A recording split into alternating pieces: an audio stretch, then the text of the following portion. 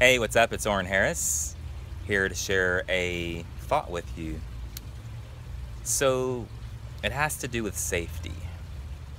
We all want to feel safe, protected, powerful, and you'll never really know true safety. I mean, on the deepest level of knowing that all is well, knowing that you are protected, knowing that nothing can do you harm. That is a feeling of empowerment, a feeling of safety a feeling of invincibility, right? We all desire to feel safe on some level, but you'll never know true safety in its purest form without absolute vulnerability.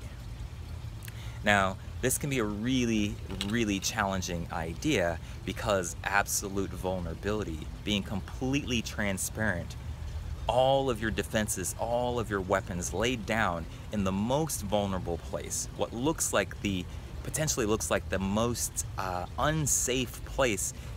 What I've come to realize, and this perhaps may be a revelation if you ever come to realize this, is that it's actually the safest place you can be.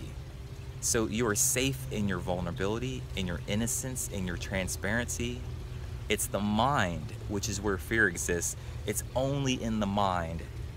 It's only the mind that can convince you that no, you can't you can't have your heart wide open. You can't be in your innocence because people will take advantage of you. People will hurt you. And that's all fear speaking.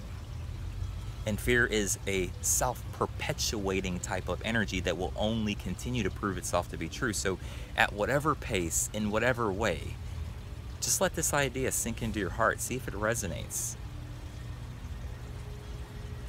All right. That's my message for you today. Oren Harris signing off. Peace.